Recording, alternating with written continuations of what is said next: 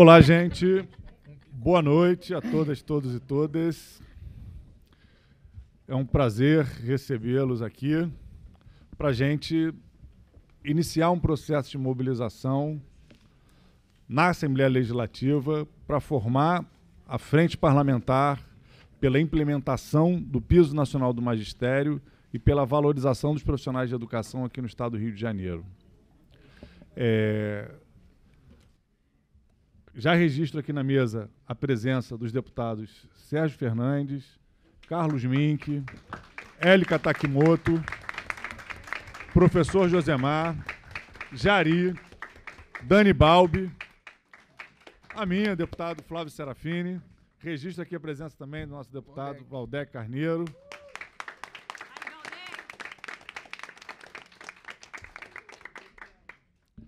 É, qual é a ideia dessa frente parlamentar que a gente está construindo coletivamente?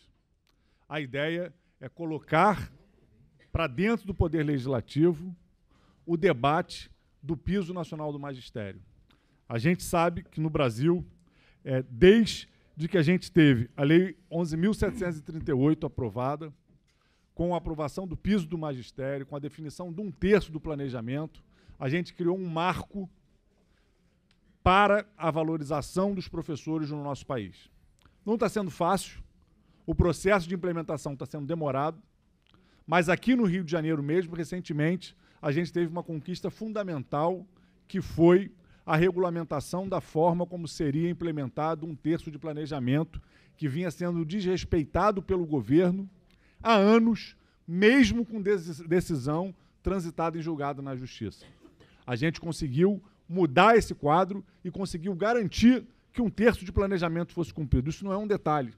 Isso é uma valorização concreta do trabalho do magistério e o reconhecimento que o trabalho de preparação, que o trabalho de planejamento também faz parte do ofício de professor. Só que a gente sabe que isso é pouco, porque a gente está no estado no Brasil que paga os salários mais baixos entre todas as redes estaduais do Brasil. Isso é inadmissível. O Rio de Janeiro é a cidade, a cidade do Rio de Janeiro tem um metro quadrado mais caro do Brasil. A cidade do Rio de Janeiro tem a terceira cesta básica mais cara do Brasil. Se seus professores recebem os salários mais baixos, é porque realmente os seus professores estão enfrentando um processo de empobrecimento, que é inaceitável, que significa uma desvalorização desses profissionais e o enfraquecimento de toda a escola pública. Quem está aqui nessa mesa são parlamentares que já têm compromisso com a escola pública. São parlamentares que, logo de largada, já toparam fazer parte dessa frente para dizer que a gente não vai aceitar que o parlamento não tenha uma posição firme pela implementação do piso. E aí é importante todo mundo saber, o piso está na ordem do dia. Vários estados estão começando a pagar, vários municípios estão começando a pagar, os profissionais da educação já começaram uma mobilização, já fizeram uma greve de um dia e a gente já tem cerca de mil decisões judiciais garantindo a professores do Estado do Rio de Janeiro o recebimento do piso. Desses mil que tiveram vitória na justiça, algumas centenas já estão recebendo através de liminares. O governo vai ter que enfrentar essa questão como teve que enfrentar de um terço de planejamento. Mas a gente não quer que a saída seja uma saída de achatar a carreira, ou de quebrar a isonomia pagando através de abono. A gente quer que o que a gente vivencie seja de fato a valorização dos profissionais de educação e o valor do piso seja o valor de início de carreira, com uma carreira que continue estruturada, valorizando os profissionais de educação. A ideia dessa frente é que no próximo período, quando o governo vai ter que encaminhar para essa casa uma série de mensagens, inclusive para recompor os cofres públicos, o governo saiba que tem aqui uma série de deputados e deputadas que estão debatendo, que estão engajados, que estão pensando estratégias para valorizar os professores e para que o piso seja cumprido aqui no nosso Estado. Então, esse é o nosso objetivo, esse é o que está movimentando a criação dessa frente. Todos os deputados e deputadas que estão aqui são fundadores dessa iniciativa para que a gente consiga, nos próximos meses, arrancar o piso sem desmonte da carreira, sem quebra de isonomia aqui no estado do Rio de Janeiro. Então eu quero é, agradecer a presença de cada um e de cada uma e dizer: hoje o parlamento dá um passo no mesmo sentido que os profissionais de educação já deram, se mobilizando para que a gente rompa com esse ciclo de desvalorização do professor aqui no estado do Rio de Janeiro e consiga, de fato, consolidar que, para construir escola pública de qualidade, tem que respeitar e valorizar os profissionais de educação. É isso que a gente quer. A gente não quer professor tomando gás de pimenta, nem tomando bomba de gás lacrimogênio. A gente quer professor ganhando piso do magistério, ganhando salário digno e com carreira estruturada. Então, hoje, a gente dá mais um passo a mobilizar o parlamento para contribuir com essa luta dos profissionais de educação. Então, mais uma vez, boa noite. Estão abertos os nossos trabalhos de mobilização da frente parlamentar pela implementação do piso do magistério e pela valorização dos profissionais de educação, porque nós não vamos deixar ninguém para trás. O professor tem o piso, mas o conjunto dos profissionais de educação precisam ser valorizados.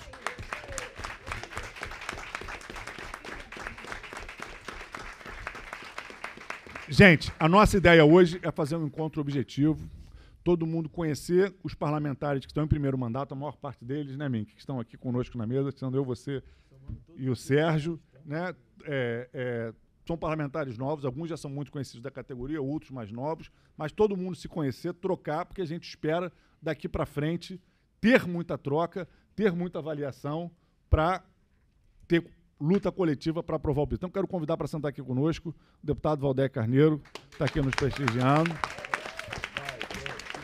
A gente tinha pensado em iniciar com uma apresentação é, do Flávio Lopes, que é presidente do Conselho do Fundeb, sobre como estava a negociação pelo piso. Ele teve um problema, não conseguiu chegar a tempo. Nós vamos fazer o seguinte: nós vamos intercalando uma fala da mesa com das entidades aqui presentes, para ter agilidade, falas rápidas, para a gente se conhecer e, e socializando as informações como é que estão os debates. Então, gostaria de começar chamando é, a professora Duda Quiroga, da Confederação Nacional dos Trabalhadores da Educação, para fazer a fala inicial. Boa noite, Duda. Obrigado pela presença. Bom, boa noite a todos, todas e todos. Sou Duda Quiroga. É, estou aqui hoje representando a CNTE, a Confederação Nacional dos Trabalhadores em Educação, mas eu sou também da coordenação geral do Sindicato Estadual dos Profissionais de Educação aqui no Rio, CEP. Sou professora da Rede Municipal do Rio de Educação Infantil e Fundamental Primeiro Segmento, tenho duas matrículas. É, em nome da CNTE, quero primeiro agradecer vocês, parlamentares, que estão aqui hoje é, abrindo essa frente e aí trazer algumas é, considerações e contribuições da CNTE bem rápidas. Primeiro, dizer que o piso nacional do magistério é uma conquista da educação brasileira e base de uma política de valorização dos profissionais da educação.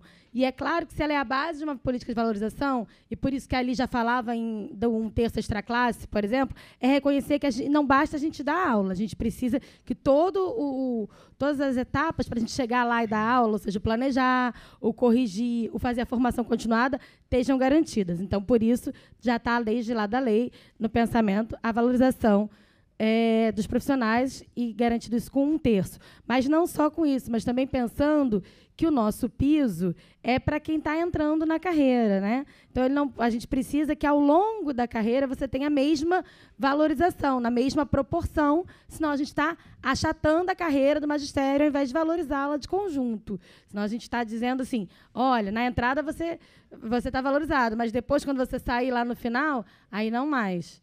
Não, a gente quer que os profissionais de educação, os professores e professoras né, do magistério estejam valorizados ao longo de toda a carreira.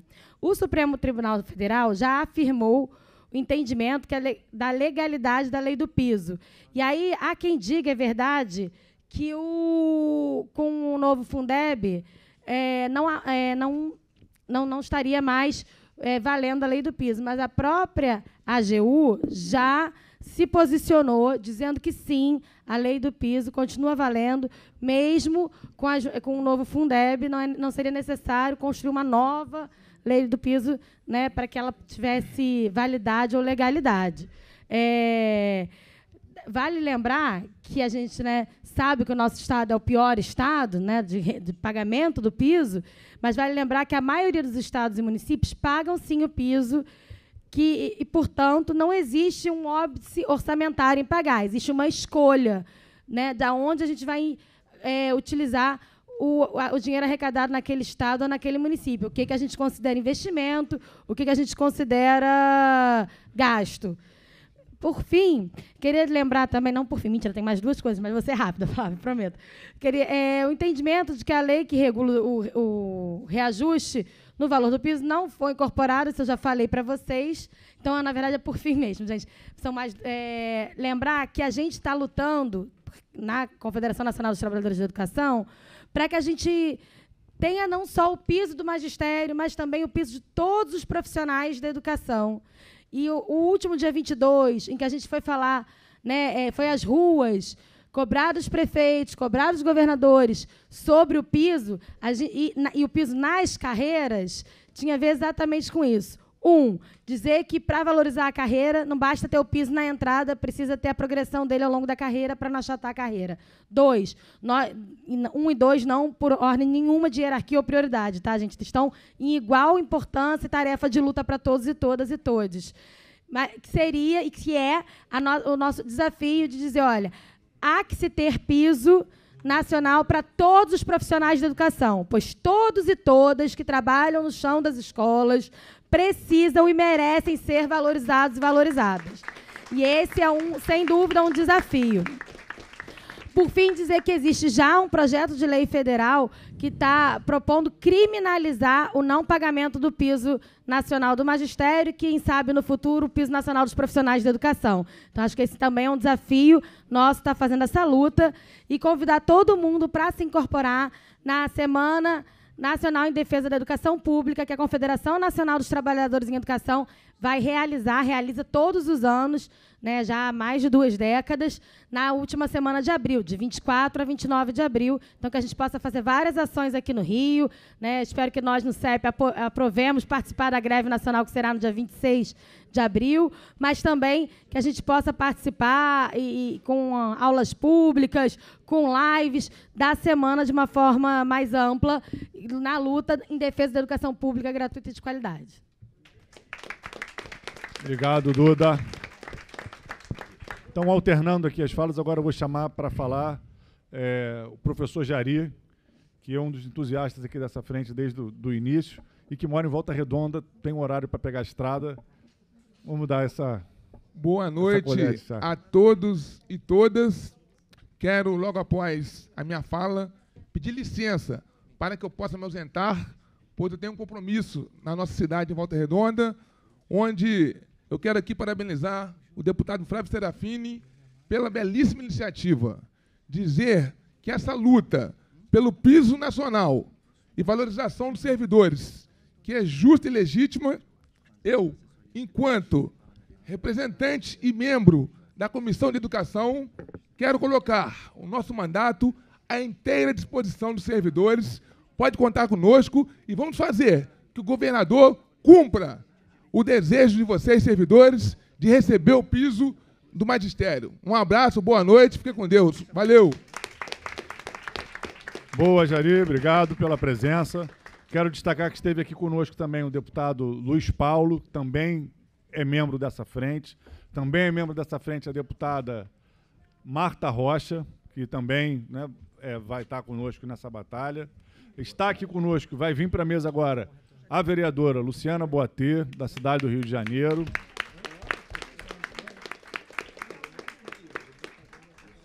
Está aqui conosco também a presença da assessoria da deputada federal Talíria Petrone, do vereador professor Túlio de Niterói, do deputado estadual Yuri. E eu vou anunciando aqui, a, também está né, da, da, deputada Marta, da, da deputada Dani Monteiro, também está aqui a assessoria junto conosco. Então, dando continuidade, agora o Flávio Lopes acabou de chegar. É, já está preparado para falar ou prefere que ainda ainda. Vamos mais uma fala antes do Flávio. Então, é, gostaria de chamar para fazer uso da palavra é, a representante da ADERJ, eu não sei quem vai ser. Tereza, bem-vinda, Tereza, obrigado aqui pela presença.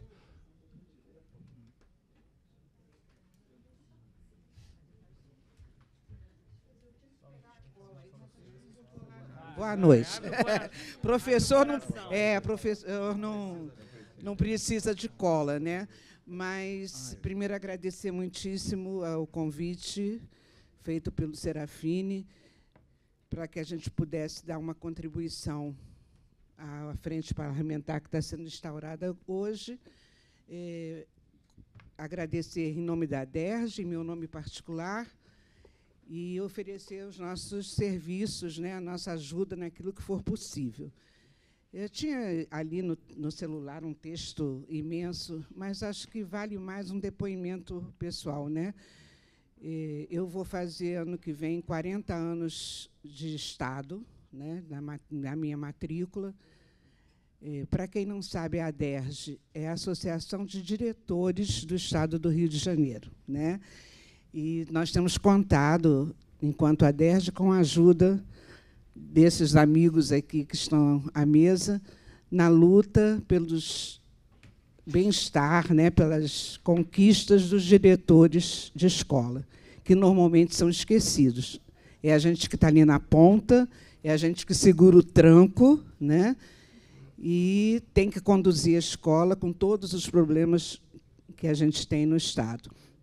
Mas aí eu faço um retorno assim, né? Eu estou à direção, à frente de direção de escola há mais de 30 anos. Então não são 30 dias. Né? Já perto da aposentadoria.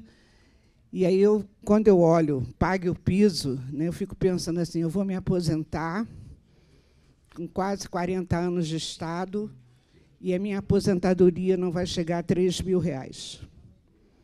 Tá? Porque a gente perde a gratificação, a gente perde o auxílio daqui, o auxílio dali, e na hora que você vê, depois de 40 anos dedicados né, à função de educador, você se aposentar com um salário que mal dá para suprir as suas necessidades pessoais. Né? Então, assim, é, eu fico emocionada porque é uma luta que é de todos nós, de toda a categoria, do pessoal de apoio, e, e a gente precisa fazer alguma coisa. Né? A gente precisa lutar para que a gente tenha dignidade, que a gente seja visto, que a gente seja ouvido, respeitado, porque eu acho que essa é a palavra-chave. Nós, da educação, e eu só posso falar por ela, porque a minha vida toda é na educação, nós não temos respeito por parte dos nossos governantes. Então, acho que essa luta a gente tem que ter sempre, né? independente de salário. Salário é bom? Claro que é.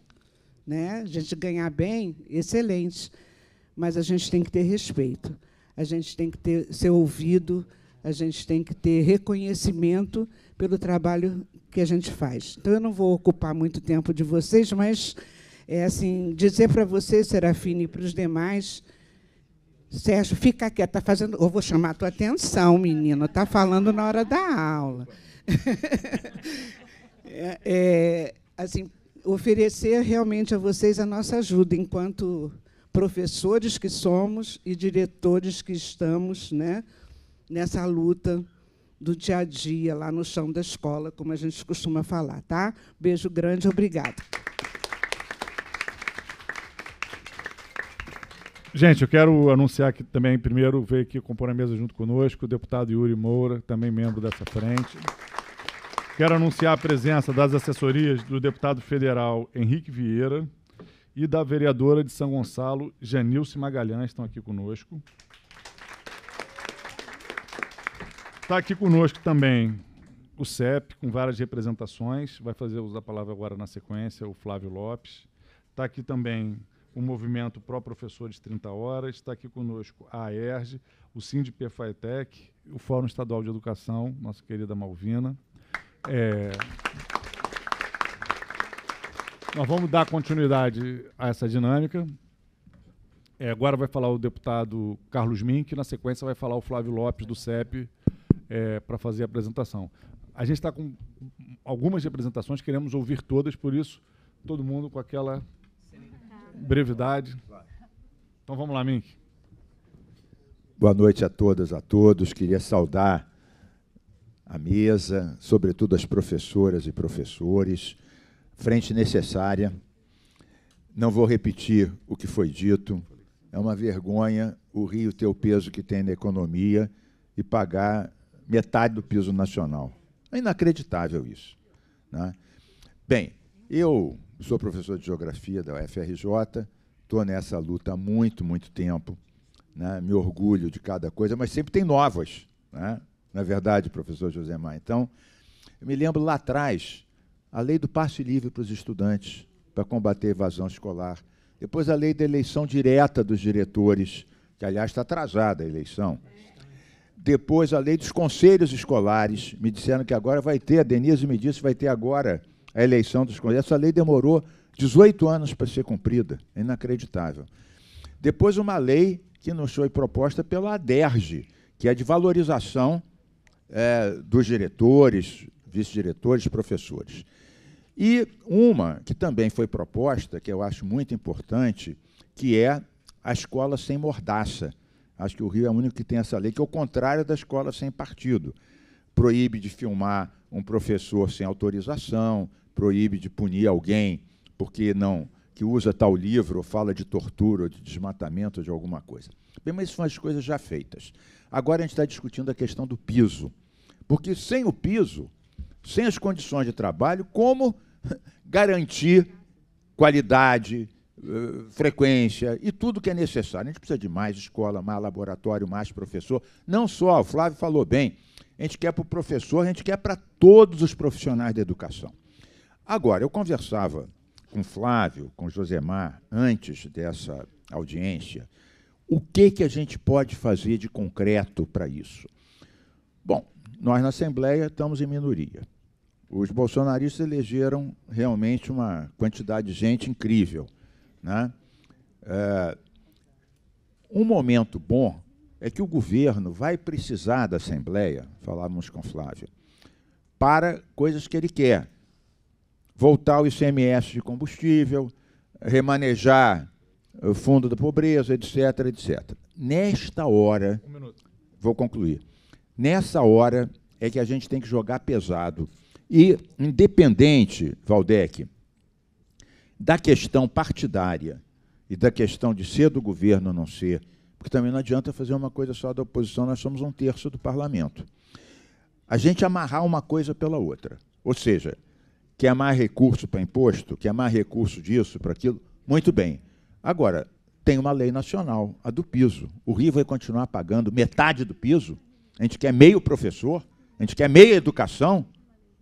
Já basta o meio ambiente, que eu digo que tem que ser ambiente inteiro. Só falta meia educação. Então, eu acho que a gente tem que concentrar, e com isso realmente encerro, até porque também tem que sair na, na balada aqui rápido, a gente tem que concentrar esforço o Sérgio vai nos ajudar, para ampliar. A gente não pode falar só para nós mesmos, para o nosso umbigo. A gente tem que ampliar. E o momento é esse. É a hora que o governo vai precisar da, da Assembleia para conseguir mais din-din para um monte de coisa, a gente vai dizer, muito bem, mas isso está casado com a questão do piso.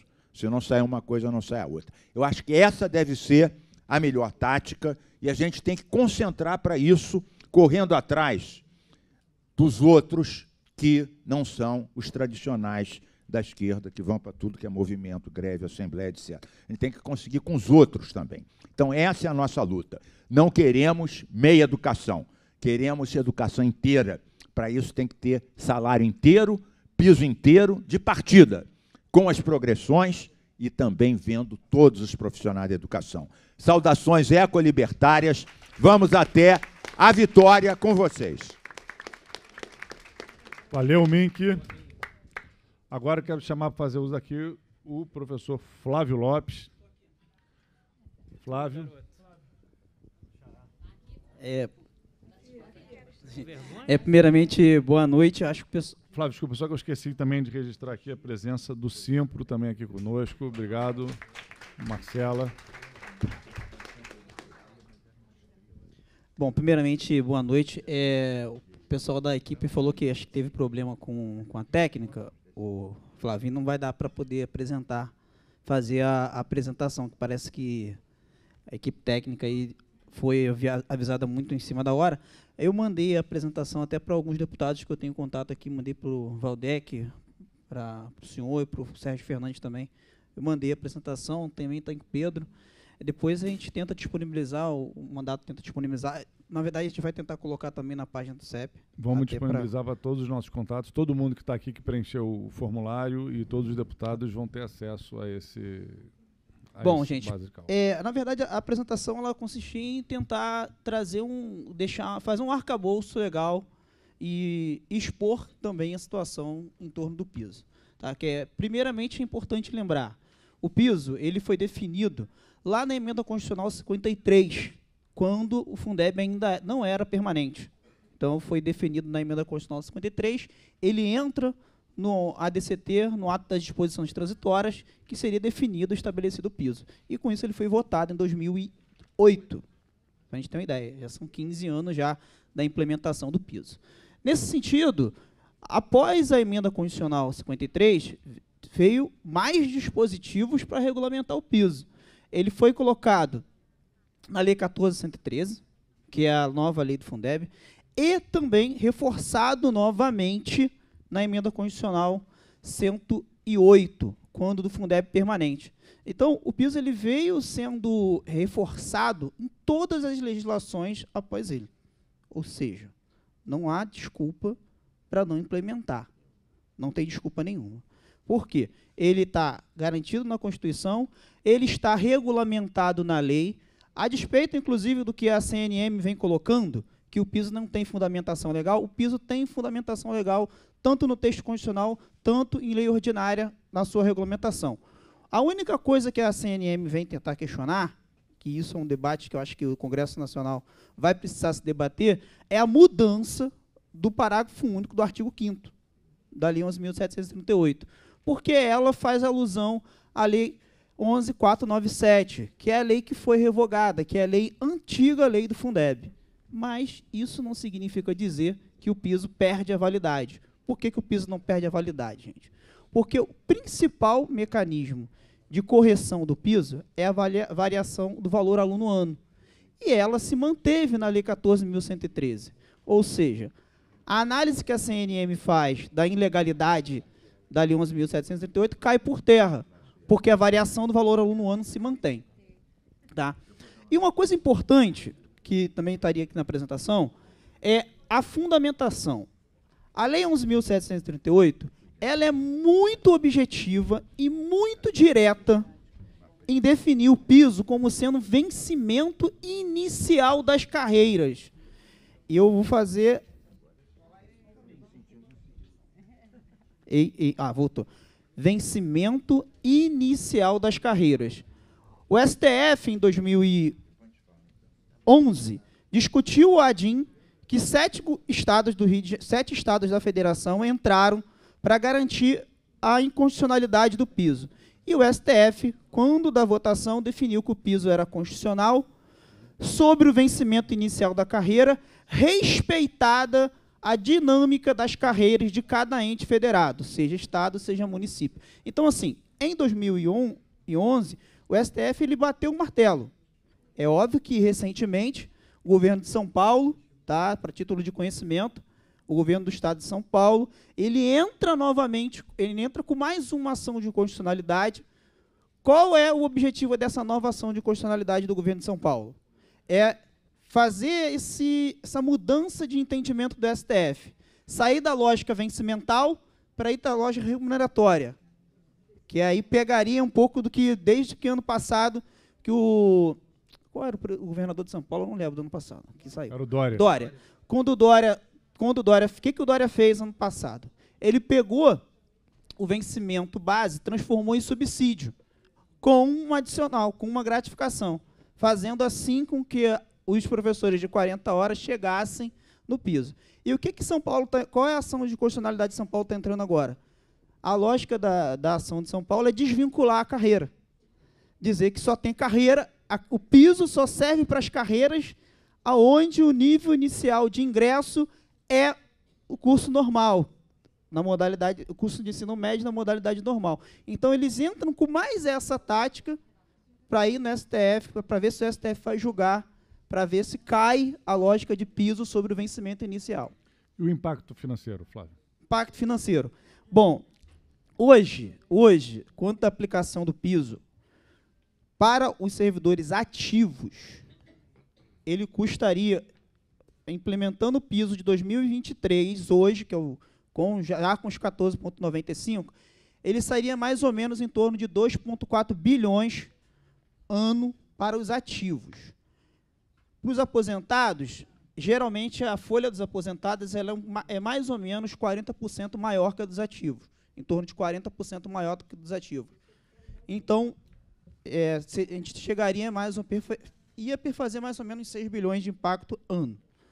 Tem um porém, deputado, que acho que isso estaria na apresentação. É, nos anos de 2021 e 2022, o Estado do Rio de Janeiro cresceu, assim como diversos outros estados, a arrecadação de Fundeb na ordem de 40%. Só para vocês terem uma ideia, gente. De 2020 para 2021, o Fundeb cresceu 40%. Só para vocês terem uma ideia, a média de, da folha anual dos ativos é 2 bilhões e 800. A média. A média dos últimos 10 anos, que é óbvio, a folha quase não teve crescimento. Nem vegetativo a folha teve. Porque geralmente quando tem o um crescimento vegetativo, é porque é progressão, triênio, aquela coisa vai crescendo. Mas não teve, porque a gente tem um número muito grande de aposentadorias, então basicamente a folha ficou estagnada quase que oito anos. Só para você ter Praticamente ideia, sem convocação de concursado. Sem convocação só de pingado, concursado, pingado. só pingado, então não teve crescimento vegetativo. Muito pelo contrário. Só para a gente ter uma ideia, a folha de 2014, a de 14 era 2 bi 800. A de 21 a de 21, a de 21 foi 2 bi 900, isso porque teve um incremento de 538 milhões de reais que foi o abono. Então assim, minto, 438 milhões. Ou seja, a folha de 2021, ela seria em torno de 300 milhões menor que a folha de 2014, só para a gente ter uma ideia que não teve crescimento, foi decrescimento mesmo. O abono ele serviu muito para isso, para ajudar o Estado nesse sentido para fechar essa, só essa parte, juntando 21 e 22, o Estado ele gastou em torno de 2 bilhões de reais do Fundeb com despesas que não são com os profissionais de educação. O chamado Fundeb 70, com a mudança Fundeb 70. O Estado gastou 2 bilhões de reais com o Fundeb 30. O que, que quer dizer isso, gente? Esses 2 bilhões de reais o Estado poderia ter aplicado diretamente na remuneração dos profissionais de educação. Se a gente for contar 2.400 é o impacto ano, então o ano o impacto do ano de 2022, 23 no caso, não seria 2.400, só seria em torno de 400 milhões de reais. Então, só para fechar aqui, não sei se tem mais alguma coisa. Boa. Não, acho que só é queria só uma observação. A, a, o aumento médio que seria dado sobre as carreiras é ao redor de 70%. No, são duas, duas, duas discussões. É, a Secretaria de Estado ela vem aplicando uma, uma tabela um pouco diferente da tabela do CEP. Tá? Em termos percentual, a tabela do CEP está dando uma média de diferença de torno de 96%. O cálculo da SEDUC está dando em torno de 71%. Eles estão fazendo um cálculo diferente, um pouco diferente do, do nosso. Para DOC 2, tanto 22 40 horas, o cálculo da SEDUC é exatamente igual ao nosso. Para DOC 2, 22 horas, o cálculo da SEDUC também é exatamente igual ao nosso. A única diferença está nos professores do docente 1, 16, 16 não tem mais, só os aposentados, 18, 30, 40 e 25. Tá? Só uma observação, deputado, antes de fechar. É, tinha na apresentação um gráfico que é bem simbólico para mostrar para você, que queria mostrar para vocês. É, em 2014, nós recebemos mais do que o piso em torno de 9%. Ficamos recebendo mais do que o piso 9%, que foi exatamente o reajuste dado em 2014. Se vocês perceberem na série histórica, eu fiz um gráfico da série histórica desde 2009, todos os anos a gente estava um cliquezinho acima do piso, porque sempre foi incorporação do Fundeb, o reajuste de, de 11, incorporação de duas parcelas de nova escola. 2012, incorporação de duas parcelas de nova escola. 2013, 8%, 2014, 9%. Então ficamos sempre ali naquela margem acima do piso.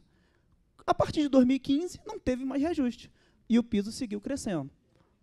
Por isso que hoje chegamos nessa diferença absurda entre o vencimento inicial da nossa carreira e o piso. Obrigado, Flávio.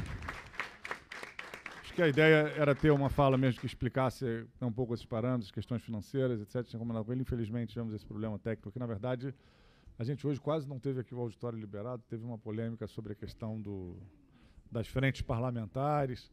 Foi aos 47 do segundo tempo e aí tivemos esse problema com a liberação aqui do, da parte técnica para nos dar esse apoio, mas acho que deu para a gente ter uma compreensão geral e a gente vai repassar esse material que foi organizado pelo CEP para todo mundo ter as informações para a gente coletivamente pensar as estratégias de conquista do piso. Então agora quero chamar para usar a palavra o deputado professor Josemar.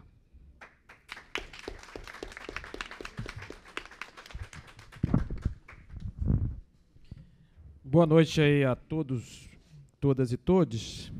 É uma honra estar aqui com o Flávio, com o Valdec, com o Sérgio Fernandes, com a Élica, com a Dani, com a Luciana e com o meu amigo Yuri, mas principalmente estar junto com os meus colegas profissionais de educação participando dessa frente.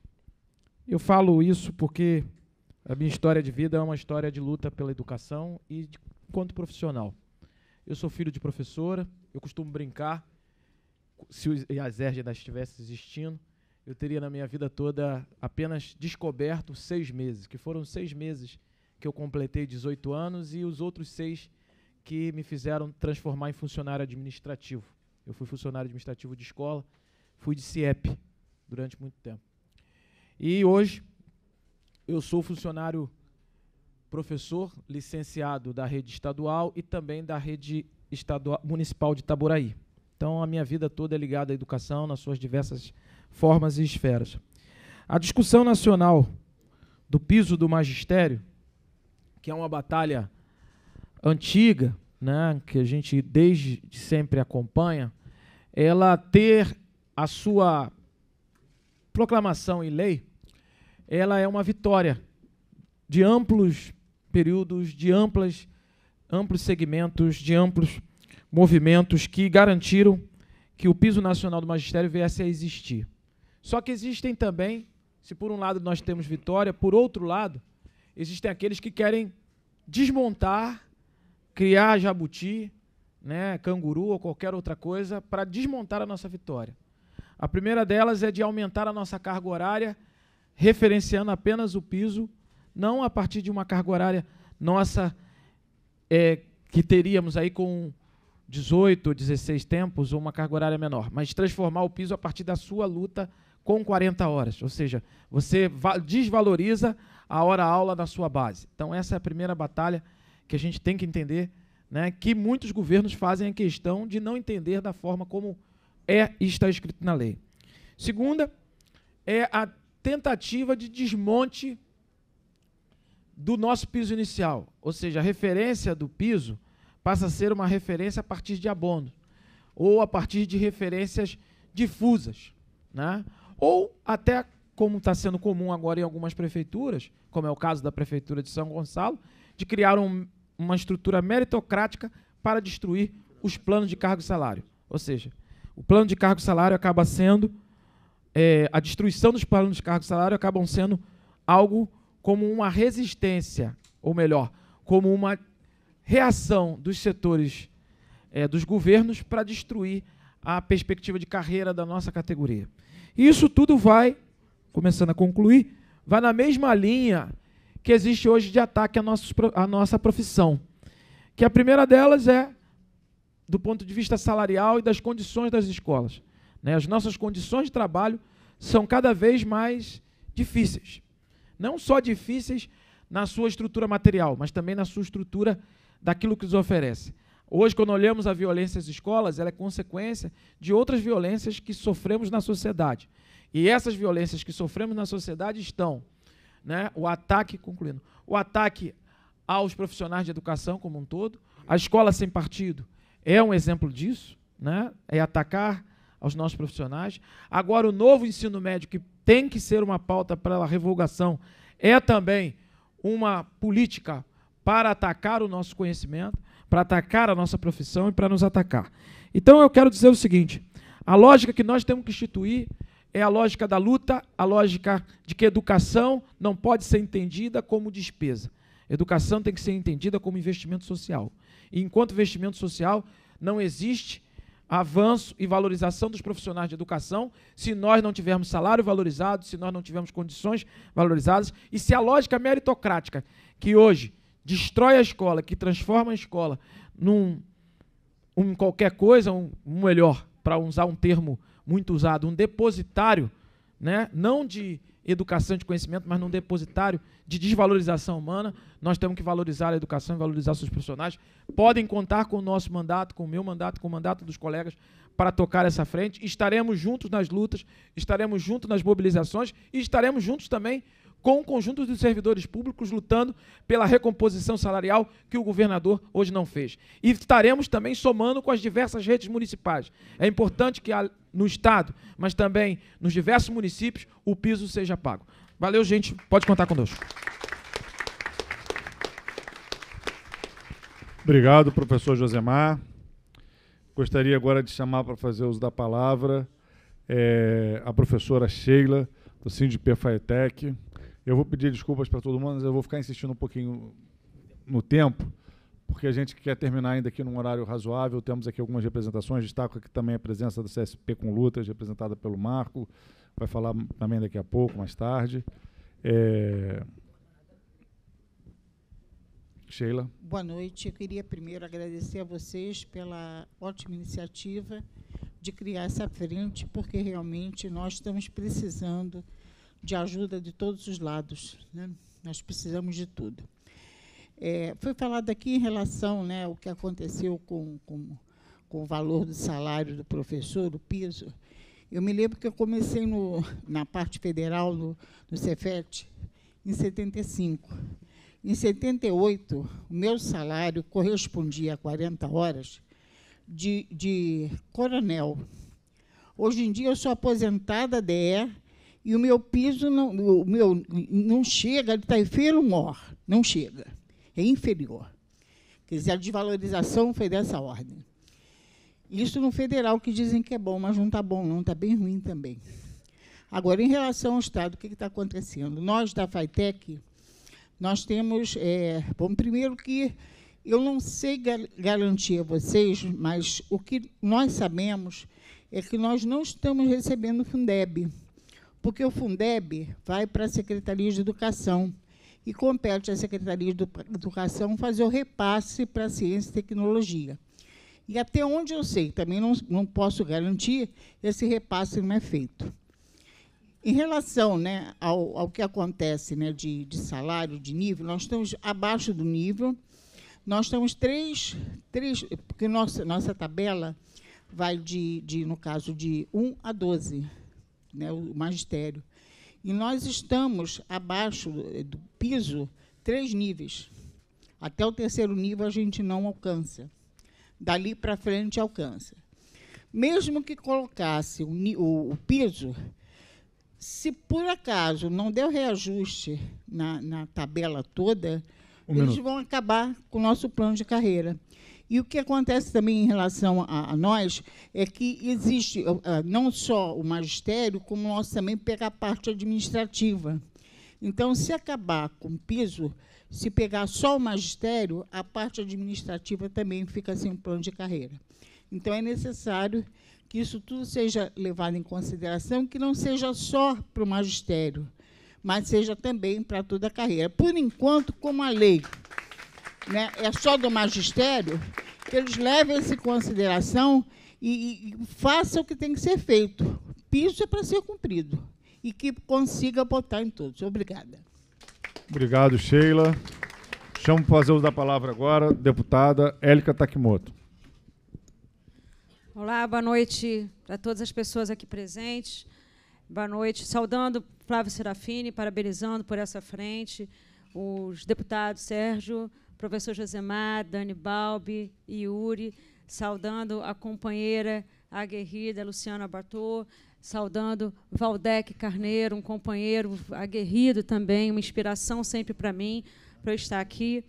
É, e saudando vocês, a classe trabalhadora, profissionais de educação, quero dizer a vocês que sou professora, né, estou agora deputada, mas trabalhei em sala de aula durante 27 anos e eu entendo muito bem a necessidade de uma estrutura para a gente conseguir trabalhar.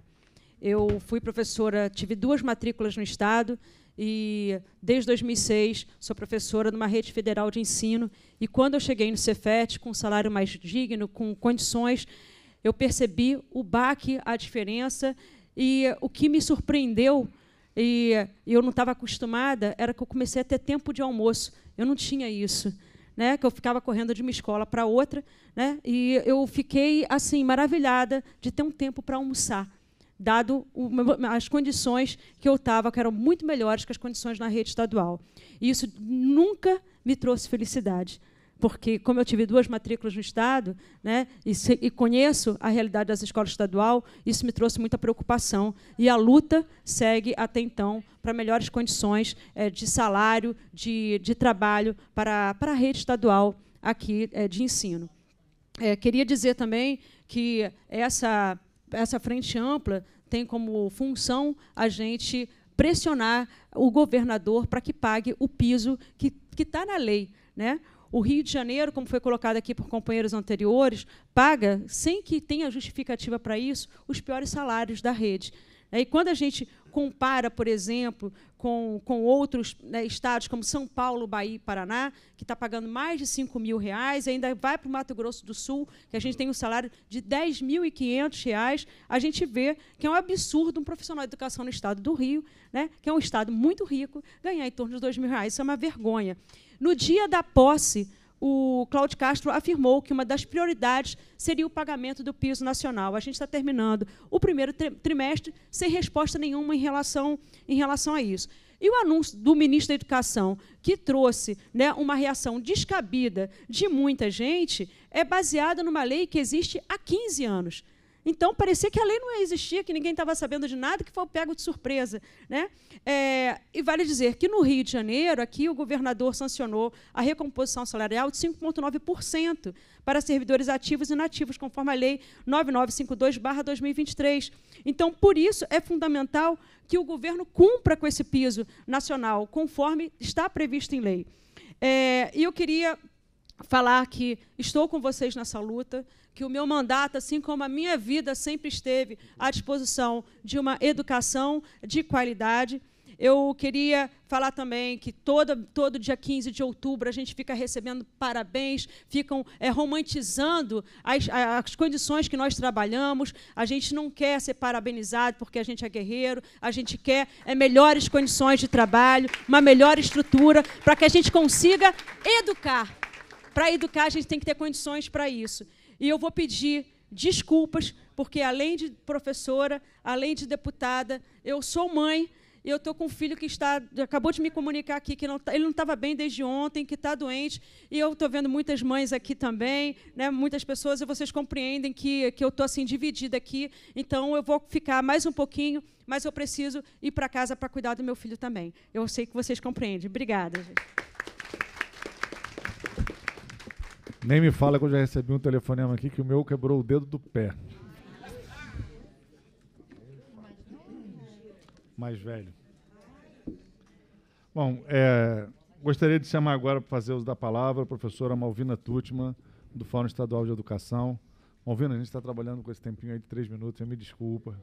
É sempre um prazer te ouvir Boa noite. Vou ter que marcar o tempo. Noite. Boa noite a todos, a todos.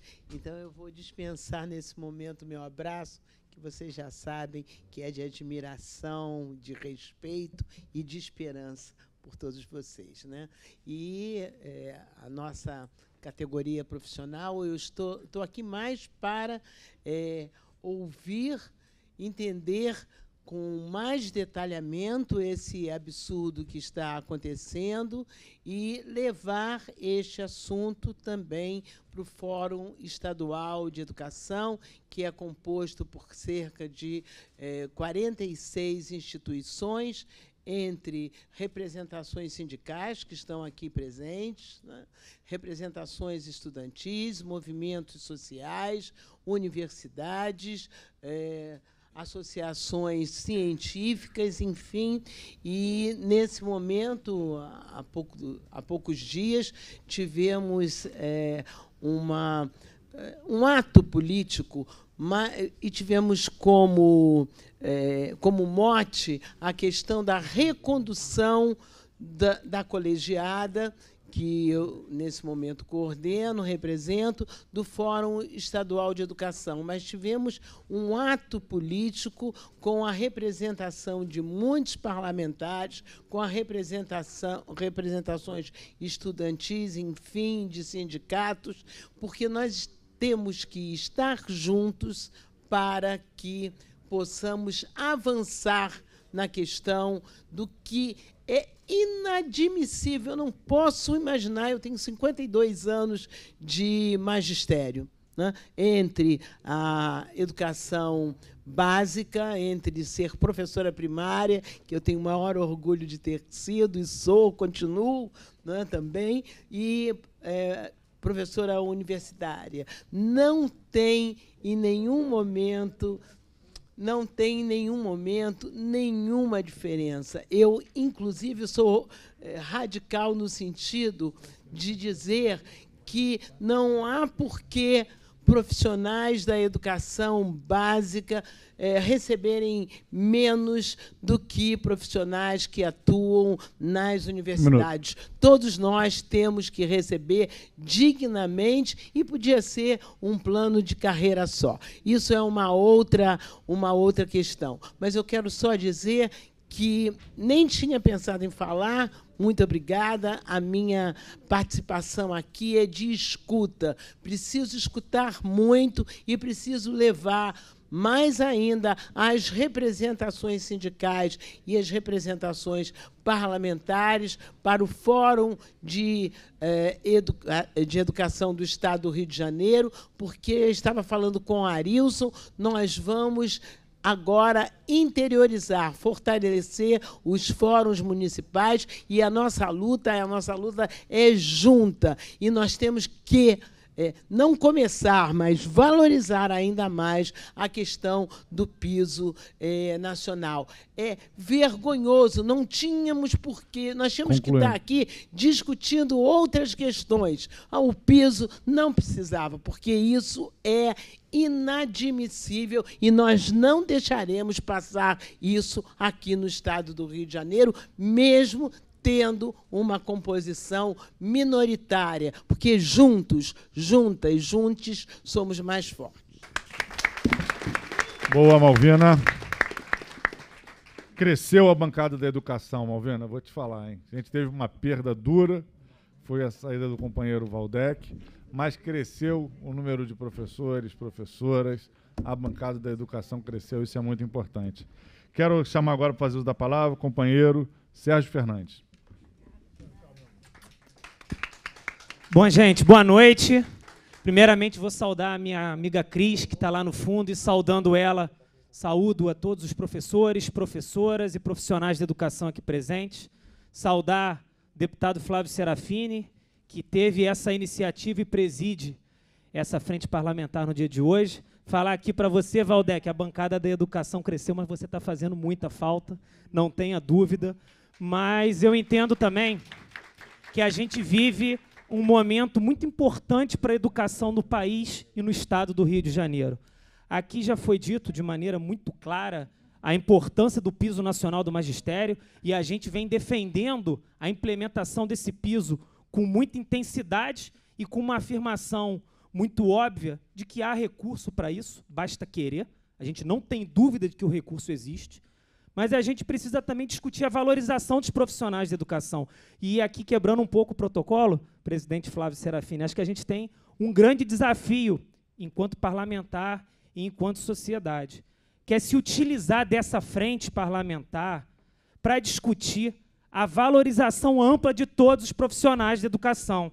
Porque a gente sabe que vai haver dificuldade e resistência dentro das comissões aqui da LERJ para ter um debate amplo não só de implementação do piso, que é lei e tem que cumprir, mas a gente sabe que existem outras leis que o governador e que o Estado também não cumpre.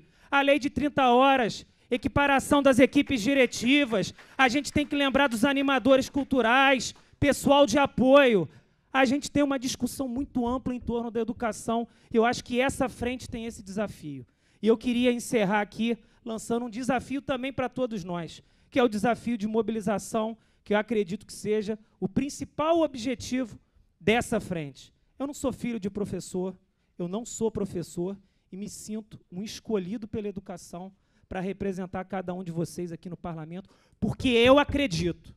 E a gente precisa lutar enquanto categoria, lutar enquanto parlamentar, e o maior desafio é envolver a sociedade, que também cobra de todos vocês que estejam em sala de aula, motivados, educando o filho de cada um. E para que isso aconteça, a sociedade também tem que estar mobilizada e exigir que os governos municipais, que os governos estaduais valorizem o profissional de educação como um todo. E valorização vem lá no contra-cheque e com salário pago no final do mês. Não tem outra forma de valorizar. E o nosso mandato aqui está com muita disposição, com muita intensidade, com muito empenho para seguir com essa bancada aqui que cada vez mais cresce e o nosso empenho para poder trazer outros colegas parlamentares para reforçar a importância da discussão da educação no estado do Rio de Janeiro, que passa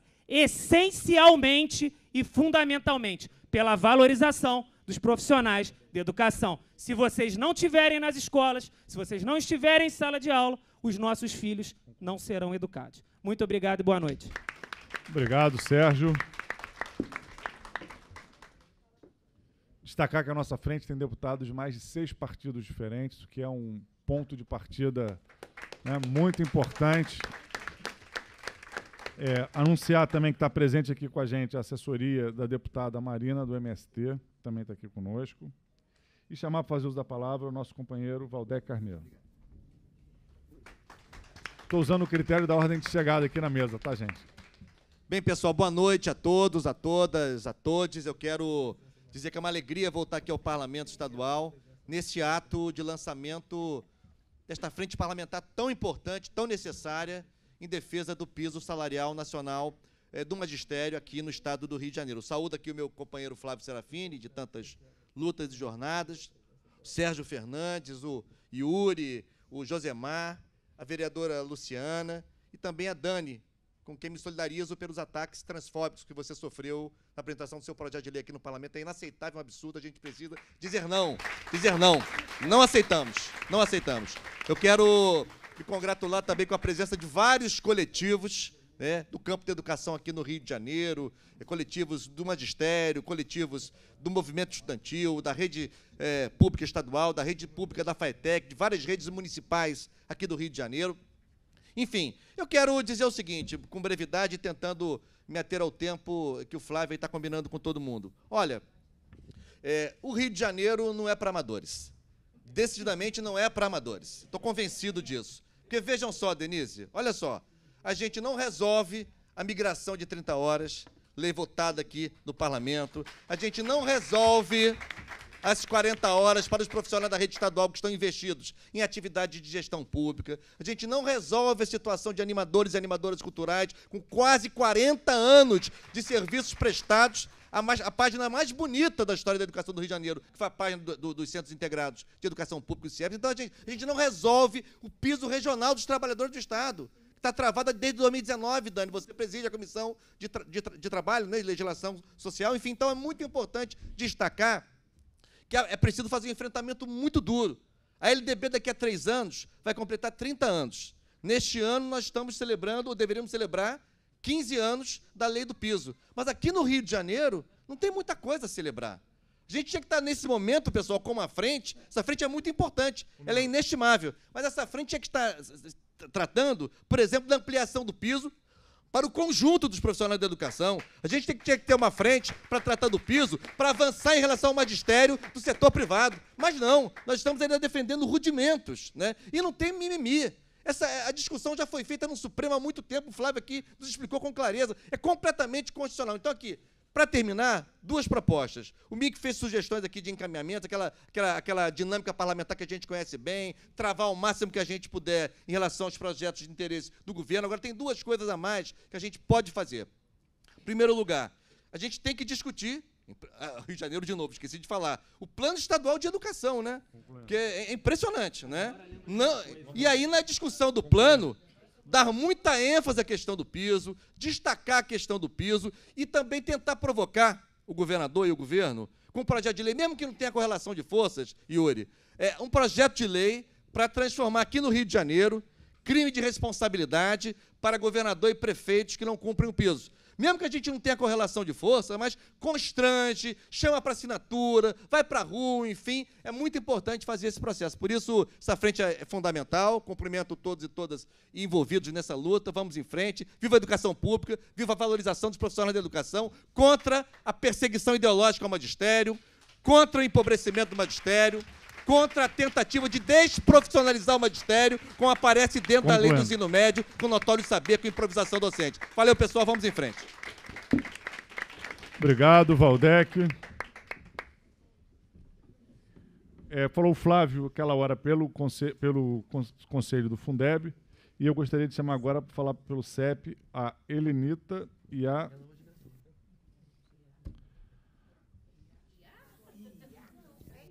a Elenita e a Renata de Caxias, para você Caxias. Renata Rose, vamos lá? Renata Rose, desculpa aí, Renata. Gente, boa noite. Primeiro dizer que dividir o microfone com Renata Rósio é uma honra. O município de Duque de Caxias, o CEP de Duque de Caxias, é uma história de luta, é um processo de aprendizagem para todos os CEPs. Então, tê-la aqui é, ter Caxias aqui dividindo o microfone é muito bom, toda a sua história de luta. Quero começar pedindo desculpas porque o CEP não pôde estar aqui na sua ampla direção, aqui presente, porque nós temos uma reunião de direção hoje. Né? Então, eu saí de lá no finalzinho para poder estar aqui em nome do sindicato, prestigiando essa atividade. E dizendo mais uma vez, né? Primeiro dizendo que o CEP já perdeu oportunidade, o Arilson lembra isso toda hora, de que o CEP tem que ter um assento no Fórum Municipal de Educação e tem que reivindicar esse assento, porque nós precisamos somar esforços com outras frentes para garantir uma educação de qualidade nesse município, ou desse estado. Né? E lembrar que, além de saudar a frente parlamentar pelo piso, que ela seja mais do que pelo piso, né, companheiros? A situação da educação está muito ruim no estado do Rio de Janeiro. A violência constante que a gente vê anunciada, violência física no prédios, né, nas instituições, significa o um grau minuto. de degradação do ensino público no nosso estado. E além de, um minuto, deixa eu passar para a Renata não, não, aqui. Um minuto para você, para você. Ah, tá é, lembrar isso, que as nossas escolas têm um processo de sucateamento, né, de desvalorização da educação, que não passa só por negar o piso aos profissionais de educação. Seja ele o piso do magistério, seja ele o piso regional, e garantir também a isonomia com os nossos aposentados. Né, porque sempre foi uma briga garantir a isonomia. Precisamos revogar também, com a ajuda, né, todas as forças, garantir que os nossos animadores culturais não sejam tenham seus contratos rescindidos, que a reforma do ensino médio seja blecada e tantas outras lutas, né? A gente tem a migração de 30 horas. Eu estou lembrando só dos roxos aqui, dos militantes as inúmeras lutas que a gente tem que travar e dizer que a gente não vai fazer isso. A gente precisa ter essa casa, essa frente parlamentar do nosso lado, construindo essa diferença na educação pública no estado do Rio de Janeiro. É uma honra estar aqui com todos vocês e com a direção do CEP, Caxias, né? Obrigado, Helenita. Agora, Renata Rosa, chefe de, é, do CEP de Caxias. Obrigado pela presença.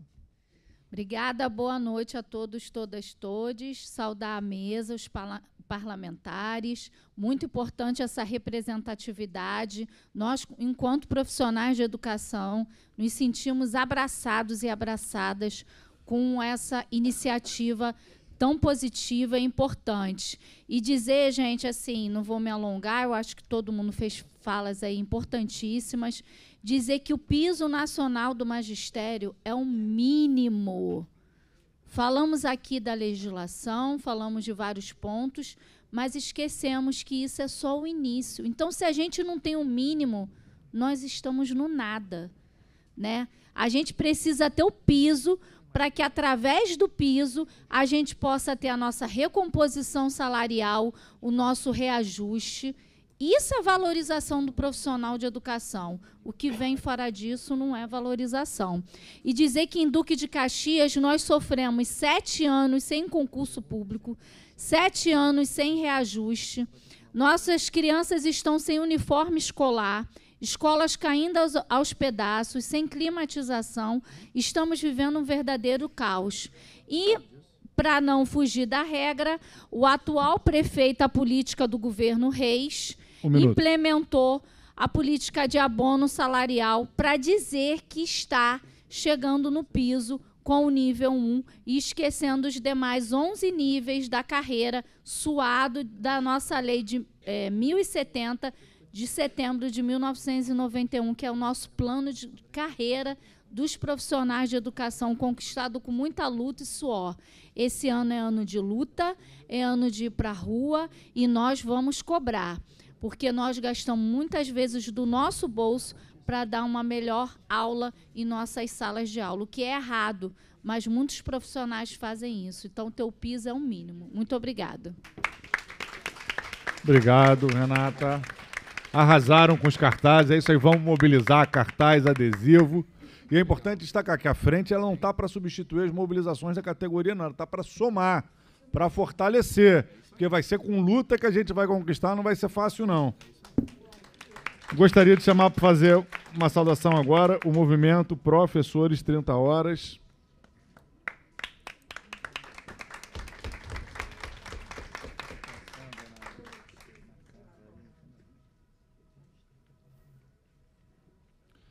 Eu vou ter que me retirar um minutinho aqui, resolver uma situação. O professor Josemar vai coordenando enquanto isso aqui. Oi, gente, boa noite. É, sou professora Cristiane, liderança do movimento Professores e também professora da rede estadual. Antes de iniciar minha fala, eu gostaria de pedir a vocês um aplauso para a professora Elizabeth, que foi brutalmente assassinada em São Paulo por um estudante de 13 anos. Né? A professora Elizabeth, que estava nessa idade trabalhando em sala de aula por amor à profissão ou talvez por necessidade de trabalhar. Como nós que somos professores da SEDUC bem sabemos, não sabemos nem quando poderemos nos aposentar diante de um salário indigno de uma categoria que estudou e estuda, né, e que faz mestrado para ganhar 300 reais de adicional qualificação e que entra num concurso público para ganhar pouco mais de um salário mínimo. Tá? Eu estou há 15 anos na rede, o meu salário, eu entrei como referência 3 e hoje estou como referência 7.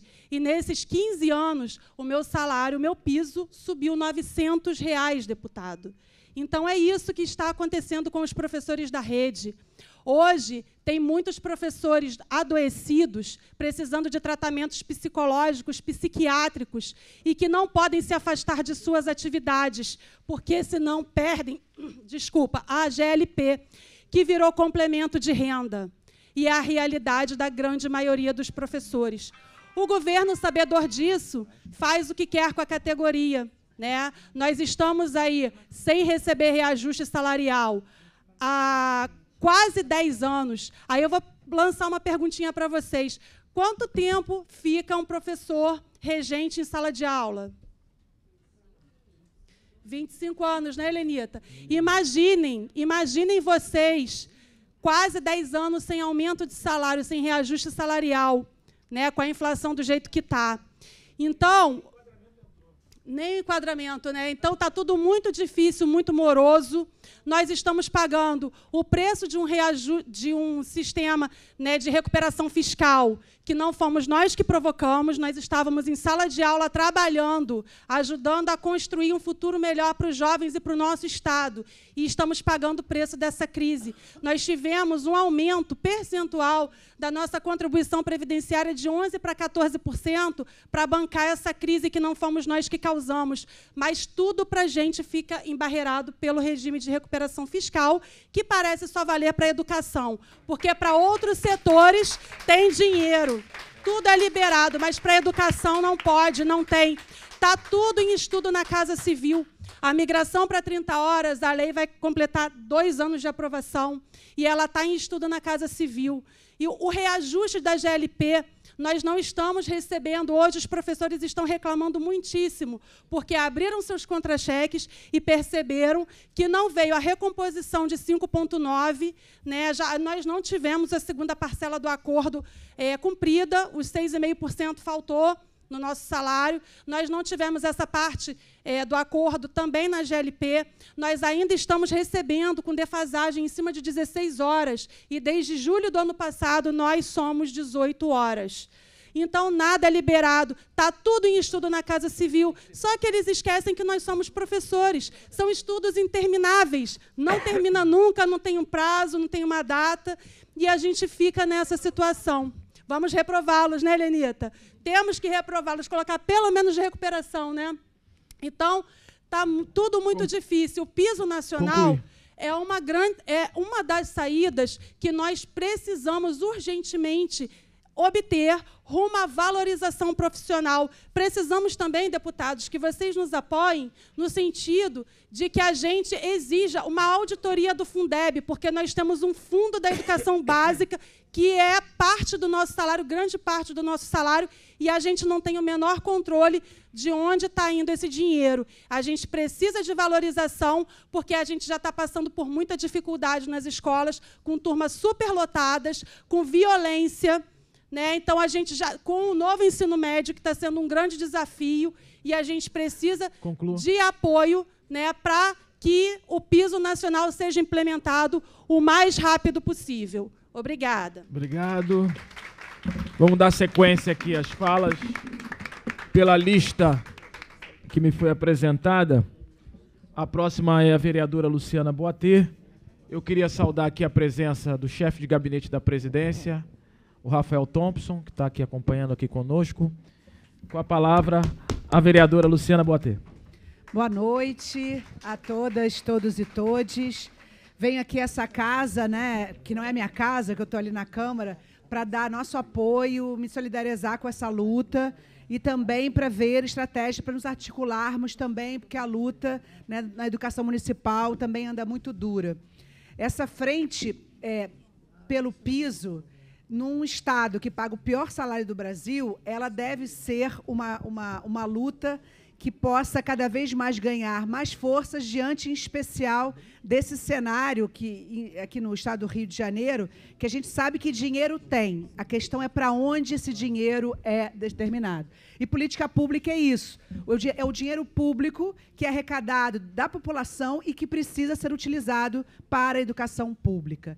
Então, é, também já foi dito aqui, eu acho que repetir é importante. Esse piso é o mínimo, é a base para a construção de uma carreira que precisa ser valorizada para que os profissionais consigam ter o seu desenvolvimento e chegarem a uma aposentadoria digna. A, a luta que é, é, é, ainda mais difícil, porque a gente sabe que nem o piso e nem as condições de aposentadoria digna são é, garantidas aos profissionais. É, dizer para vocês também que o, no município do Rio de Janeiro, o prefeito Eduardo Paes né, que é denunciado todo dia nos, nos telejornais, porque não tem nem professor em sala de aula, crianças sendo enviadas para casa, o prefeito Eduardo Paes diz que paga o piso. Mas quando a gente vai botar a lupa, é, a gente vai ver, por exemplo, que os professores né, da educação infantil não recebem o piso. Eles são uma segunda categoria que está sendo extremamente também é, é, afetada por essa é, falta de professores. Eu tenho conversado com, com, com, professores e professoras que têm nos contado, por exemplo, que um professor de educação infantil almoça em sala de aula. Lembrei da Érica falando aqui, o professor almoça com os estudantes ali que não consegue sair para almoçar, não consegue ir ao banheiro, não consegue ir ao banheiro com crianças que não podem ser deixadas sozinhas. Então, o que a gente está vivendo no estado do Rio de Janeiro é algo dramático e é o futuro que a gente precisa agora. Essas lutas não também não começaram hoje, mas a gente precisa agora com essa frente. E eu quero, eu não posso assinar aqui, embora eu gostaria de assinar, mas que a gente possa também estar articulando com essa luta maior pela educação pública de qualidade, socialmente referenciada, e que a gente possa unir os esforços. Eu também, como professora licenciada, que, que, que agora Estou há dois meses no mandato, a gente quer também estar tá aí articulando, fortalecendo, junto com os sindicatos, junto com a categoria e junto aqui com essa frente, com os deputados estaduais, como que a gente pode aí estar tá nesse enfrentamento. Dizer também que esses, essas filigramas jurídicas e essas estratégias de ir para o Supremo, como advogada, posso garantir para vocês que é isso. Eles, na verdade, ficam tentando fazer lobby nos tribunais, ficam tentando fazer lobby nos tribunais para negar um direito que está previsto em lei. Eu acho que é uma luta que também Minuto. vai ter que perpassar por essa essa, questão, essas explicações, eu achei muito importante para a população saber exatamente do que nós estamos falando. E, por fim, eu queria deixar minha solidariedade aqui à, à deputada Dani Balbo, que sofreu esse ataque aqui transfóbico aqui nessa casa, e dizer também que a categoria né, da, das, das, da, da educação é uma categoria feminina, é uma categoria de maioria de mulheres, que a gente sabe. Em especial, quando a gente vê né, uma professora como Dani também, que está aqui representando, eleita, tendo que passar por, esse, por essa situação, a gente vê essa violência política política de gênero que atinge, em especial, mulheres. Então, toda a minha solidariedade, Dani. Parabéns ao Flávio, parabéns a todos os parlamentares que estão compondo essa frente tão importante para a gente seguir na nossa luta, que é, certamente vai ser fortalecida. Professora Malvina, é, saudar aqui também, em nome, de, em nome dos presentes, é que estaremos juntos e juntas e juntos. Obrigada, boa noite. Obrigado, Luciana. Gostaria de chamar agora a professora Marcela, representando o Simpro. Boa noite, Marcela. Obrigado pela presença. Cadê a Marcela? Saiu bem na hora que a gente. Ah, tá falando, não vai falar, não, Marcela? Então, registrada aqui a presença. Obrigado. Marcela está lá atrás. Levanta a mão, Marcela, para todo mundo ver você. Obrigado pela presença. Então, agora vou chamar é, a deputada Dani Balbi fazer uso da palavra.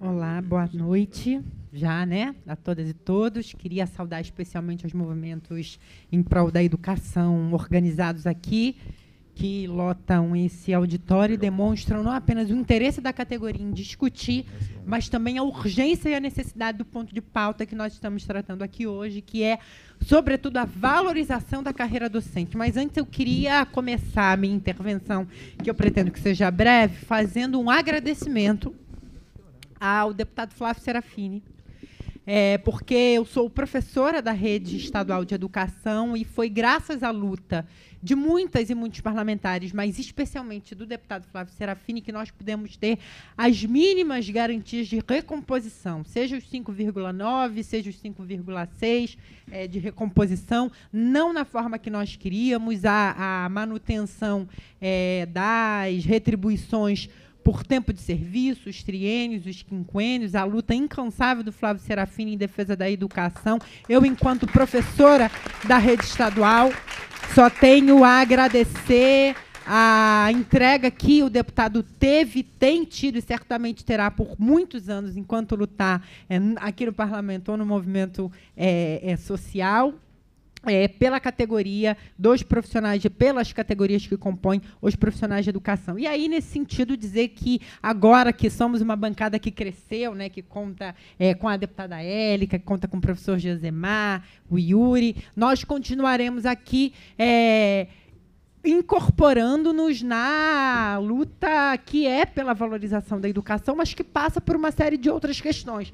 Passa, num primeiro momento, pela exigência da entrega do piso e que, na esteira desse processo, nós exijamos que o piso seja a referência do vencimento base, como foi colocado aqui na fala de diversas companheiras e companheiros. Esse é o entendimento das categorias, dos sindicatos organizados. O vencimento base precisa corresponder à integralização do piso na forma como nós temos demandado. E não através de abonos ou de diversos outros estratagemas que, na verdade, visam apenas hiperexplorar as, os profissionais de educação. Passam e se articulam com a luta pela revogação do novo ensino médio, por um modelo de educação, e vejam bem, por um modelo de educação que entregue qualidade da educação para as filhas e os filhos da classe trabalhadora, por maior investimento nas secretarias estaduais de Minuto. educação, além é, da Fundação de Apoio à Escola Técnica, que também oferecem educação básica, e porque a luta pela revogação do ensino médio está diretamente ligada ao cálculo que é feito em relação à entrega da nossa carga horária docente com o desmantelamento das carreiras docentes e a desconfiguração dos nossos concursos bases, dos nossos editais, a situação funcional dos servidores da educação, como a gente tem assistido, ela fica completamente desarranjada. Então, lutar por uma integralização do piso que esteja articulada com a nossa carga horária significa também lutar por, pela revogação do novo ensino médio e, a partir daí, é, fazer uma mobilização grande, já concluindo, deputado, em torno de uma discussão profunda que leva em consideração a apresentação de um outro plano estadual de educação. E, para concluir, um plano estadual de educação que valorize todos os profissionais da educação, profissionais docentes, profissionais técnicos que oferecem educação, que recomponha, inclusive, o quadro de profissionais, pensando é, na assistência à saúde mental, na assistência social, e que possa fazer a escola pública estadual do Rio de Janeiro, mas também todo o sistema de ensino estadual aqui do estado do Rio de Janeiro ser aquilo que deveria ser referência para a classe trabalhadora negra pobre, que é a maioria das filhas e dos filhos é, do nosso estado do Rio de Janeiro. Muitíssimo obrigada mais uma vez. Valeu, Dani. Quero chamar agora o companheiro Marco da CSP com Lutas.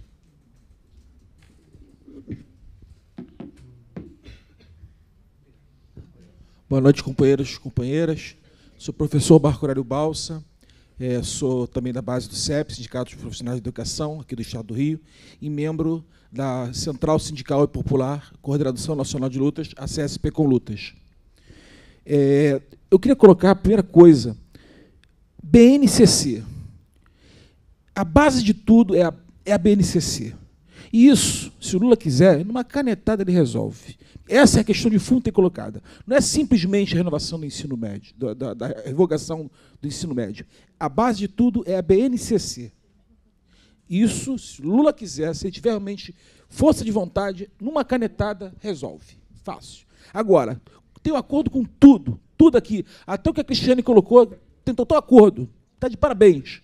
Mas a gente só vai conseguir essas coisas se a gente estiver realmente mobilizado. Por mais que tenha essa comissão aqui, que é importante, claro que é importante, não tenha dúvida disso, óbvio, para esse é o parlamento, mas a gente tem que ir para a rua, a gente sabe disso. Tem que ir para a rua. A Rede Estadual de Educação, semana agora, fez uma, uma passeata, quase duas mil pessoas. Né? O Flávio estava lá. Fomos lá para a porta do, do Palácio Guanabara. Nem estava lá o governador. Ele vai para os Estados Unidos, vai para não sei para onde. Né? Tem, quem trabalha, por acaso, governador? Hã? Um minuto. Não trabalha. E vai para os Estados Unidos lá. Está marcada agora, nova é, Assembleia, dia 18, da rede estadual. Dia 26 é, é, é Dia Nacional de Luta em defesa da educação pública. A gente não quer dinheiro de Fundação Paulo Leman. A gente não quer dinheiro de movimento de todos pela educação, de Cláudio Agostinho. A gente não quer isso. A gente é profissional de educação, a gente quer uma educação pública. Eu sou estudante pelo, pelo, da Universidade do Brasil, UFRJ. Sou professor de História, de Filosofia e Sociologia. Eu quero que os meus alunos saibam minimamente o que, que foi aquela intentona bolsonarista que eu vi o Valdec lá, que eu vi a, a Érida lá também, nós estávamos lá dia 9 de janeiro, na Cinelândia. Os alunos têm que saber disso. Que, que foi essa tentativa de intentona bolsonarista? O cara chegou, hoje que chegou, não foi? Cadê? Já algemaram ele? Já tem algema? Tem? Aí isso aí, não tem que ter anistia não. Eu falei com a Hélida, é sem anistia. É sem anistia. Para terminar, para concluir. Eu estou até emocionado aqui, me desculpa. Mas eu sou filho também de uma professora também. uma professora que morreu dia 31 de dezembro de 2021 de influenza H3N2 Darwin, porque não teve vacina para ela, porque lá na Europa Ocidental e na América do Norte já tinha vacina. É isso que está colocado, tá? Então, companheirada, é luta. E a BNCC tem que ser revogada. E nenhum centavo verba pública só para a escola pública. Deixar bem claro isso. Muito obrigado, uma boa noite. Boa, Marco. Chamo agora para fazer uso da palavra, companheiro, deputado estadual, Yuri Moura, mais um professor, fortalecendo a bancada da educação. Boa noite, companheiros e companheiras, aos meus colegas parlamentares, essa frente que vem aqui para fazer a disputa necessária dentro dessa LERJ, ao SIMPO, ao CEP, a todas as entidades que estão aqui de classe e de luta pela nossa educação.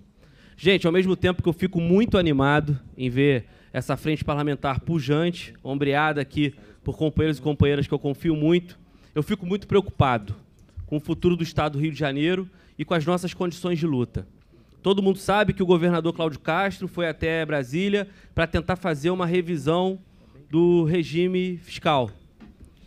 A gente percebeu também hoje que já foi lançado um novo arcabouço fiscal que vai interferir também nesse regime de recuperação fiscal e na relação da União com os estados e com os municípios. Eu não consegui ler o arcabouço ainda, mas me parece que não é tão animador como a gente esperava. A Comissão de Orçamento e Finanças dessa casa tem feito algumas reuniões e audiências públicas e já aponta para a dificuldade que nós vamos encontrar aqui no estado do Rio de Janeiro, depois da farra da SEDAI, depois da farra do CEPERJ, depois da farra político-eleitoreira que o governador Cláudio Castro trouxe nesse estado. E aí eu lembro que, além dele não pagar o piso nacional do magistério, ele também não pagou a recomposição salarial dos servidores e servidoras. Ele não pagou nem quem ele diz cuidar, que é da Polícia Militar. Hoje eu recebi representantes de veteranos com os quais o governador simplesmente desrespeitou princípios como a integralidade e a paridade. O que a gente está percebendo aqui, então, é que o governador Cláudio Castro é caloteiro.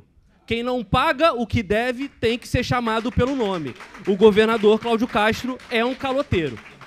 E isso traz para a gente um desafio absurdo, que é aqui na Assembleia, conversar com todos os parlamentares, da direita, do centro, porque a esquerda está mobilizada, e lembrar o seguinte, nós, profissionais de educação, não queremos tapinha nas costas como reconhecimento. Não adianta vir aqui e protocolar o dia do professor gente boa, a semana do professor bonitinho, é, o mês do professor que ajudou uma criança. A nossa dignidade se dá com condições de trabalho e com o mínimo, porque Minuto. a gente está aqui lutando pelo mínimo do nosso salário, das nossas gratificações, da nossa carreira. Eu sei que é duro lutar pelo mínimo. Isso foi falado por várias vezes aqui. Mas essa luta da frente parlamentar, junto das entidades que aqui estão, é a nossa oportunidade, depois de tudo que a gente perdeu, falar o seguinte: governador, prefeito, seja lá quem for, daqui para trás a gente não vai mais. Já perdemos muito nos últimos anos, mas para baixo do piso a gente sabe o que, que tem, e para lá a gente não quer ir. Então vamos lutar junto, vamos questionar os parlamentares da base do governo, vamos denunciar que Cláudio Castro é sim um caloteiro, vamos para a rua, como disse o companheiro, porque essa frente parlamentar vai estar firme. Companheiro Flávio Serafini, parabéns pela iniciativa, todos os colegas estão aqui e vamos para a luta, porque não vão fazer educação sem nós, não existe educação sem nós.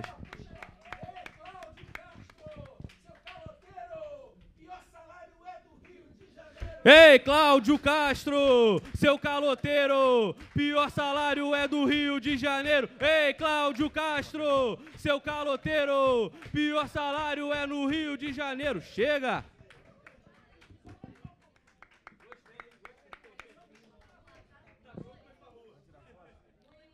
Bom, gente, olha só. A gente tem aqui algumas representações que eu queria registrar, destacar. É, tenho aqui companheiras, né, Vivi Patrícia, né, o CEP de Mesquita. Temos aqui a companheira Maria Bertotti, de Teresópolis, que é uma referência importante na educação. Temos a companheira Ivanete, que para mim foi uma liderança sindical para mim. Né? Enquanto eu estive na base do CEP, fui base da Ivanete. É, uma série de representações aqui que a gente não vai... Itaboraí está aqui presente. Cadê a companheirada de Itaboraí? Bravos, que a gente não vai poder continuar, porque a gente tem um, um horário aqui para entrega do auditório e a gente estourou esse horário. É, são oito horas agora. É, temos aqui as companheiras da DERJ que tiveram uma fala, mas estão algumas companheiras aqui fortalecendo, Celinha, Tereza, é, todas as companheiras, quero registrar aqui a presença, né? várias representações aqui, a gente foi tentando garantir que todas falassem, eu estou citando as representações que não vão poder falar aqui conosco, né? apesar do CEP ter falado de alguma forma, o CEP representar todas essas companheiras e companheiros, é, para destacar que a participação aqui é muito importante e são companheiros que estão nos ajudando já a construir essa mobilização, construir essa frente. A ideia dessa frente. A Denise Lobato também está aqui, que atualmente é da assessoria do deputado Carlos Mink, uma companheira também ativista histórica. É, essa frente ela está aqui para atuar em sinergia com os educadores e educadoras para a gente colocar o piso na ordem do dia e, de fato, conseguir aprová-lo aqui no estado do Rio de Janeiro. A gente chegou, né, Pedro, a discutir muito na nossa equipe. Será que a gente faz uma frente específica sobre o piso? A frente é pelo, pela implementação do piso e pela valorização dos profissionais de educação. A gente entendeu que o foco era o piso. Tem vários temas importantes. Eu, por exemplo, sou um defensor, tenho lutado muito pela questão da migração para 30 horas. Não tem uma reunião que eu faço com a Secretaria de Educação que isso não seja pauta. Né? É... Mas a gente entendeu que o momento era do piso. E que a gente tinha que incluir os profissionais de educação, porque quando a gente aprovar o piso, a gente tem que puxar os profissionais de educação para um processo de valorização conjunto, os demais profissionais de educação. Mas a gente entendeu, conversou com os deputados e deputadas é, e tivemos um acordo sobre isso. Esse é o ano da aprovação do piso no estado do Rio de Janeiro, onde o piso vai começar a ser respeitado. É, já sabe, já são centenas de processos ganhos na justiça. Não é à toa que o governador cita o piso na fala dele, porque ele viu o que aconteceu com o texto de planejamento, que começaram as ações na justiça, o CEP teve várias vitórias judiciais e ele teve que implementar. O mesmo processo está acontecendo com o piso, vários estados, vários municípios estão tendo que cumprir. Dani Abreu também aqui, uma outra referência nossa aqui, Magé. É, assessora do deputado federal Chico Alencar atualmente. É, vários, é, vários estados e vários municípios estão começando a cumprir alguns fazendo gambiarra, e nós não vamos aceitar gambiarra, não vamos aceitar quebra de isonomia, não vamos aceitar a desestruturação da carreira. Nós queremos que o piso seja o ponto de partida da valorização dos professores. Então, é, e Exatamente. Se não for, né, os gatilhos recebem abaixo do mínimo, o que é absolutamente inaceitável. Então, queria dizer que a gente hoje deu mais um passo importante nisso que vai ser uma jornada de muitas lutas esse ano. Esse ano nós vamos ter muitas vitórias. Nós vamos revogar o ensino médio. Nós vamos aqui no Rio de Janeiro conseguir a estruturação da carreira com a migração para 30 horas, que vai começar, que vai sair do papel. Mas nós vamos fundamentalmente, nós vamos aprovar o, o plano estadual de educação, mas nós vamos fundamentalmente aprovar o piso, que é elemento fundamental para a gente mudar a realidade da escola pública. Não é à toa que a escola é tão desvalorizada. Nós, professores, acabamos, acabamos sendo profissionais de nível superior que recebemos salários mais baixos entre todos os profissionais de nível superior. Isso é inaceitável, a gente vai mudar isso e com a mobilização dos profissionais de educação e com a luta conjunta daqui dos parlamentares dessa linda bancada de educação que se formou, nós vamos conquistar o piso e vamos avançar para valorizar a escola pública no estado do Rio de Janeiro. Gente, muito obrigado pela presença de todas, todos e todas. Está encerrado aqui esse nosso encontro. Vamos tirar uma foto coletiva.